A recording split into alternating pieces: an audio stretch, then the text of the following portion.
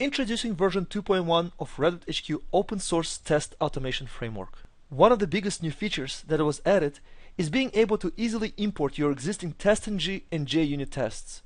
This way, you'll be able to use Redwood HQ to execute across multiple machines and analyze their historical results for any type of test case you already have, like REST SOAP API, Selenium, Appium, and any others.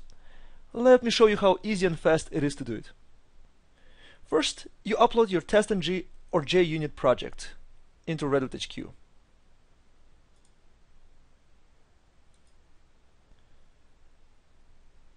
As you can see, all of the files have been uploaded and ready to be used. The next step is to import those test cases by clicking on the Import Test Cases button, selecting the test cases you want to import, and now your test cases are ready to be used and executed through Redwood HQ. And just like for any other test automated run, you can select multiple threads and machines where execution will take place, run selected test cases,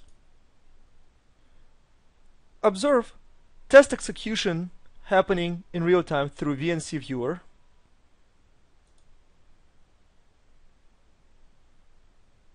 analyze test case details results for a failure, see the error, the stack trace, the screenshot, and you can even click on the stack trace to bring right to the code where the failure has happened. And at the end, you can compare historical test results across multiple executions.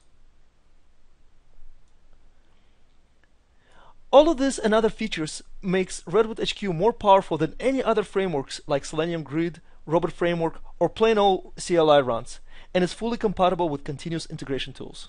We have also added other features, like being able to execute right from the scripts page, a very extensive update to documentation, as well as multiple bug fixes and enhancements.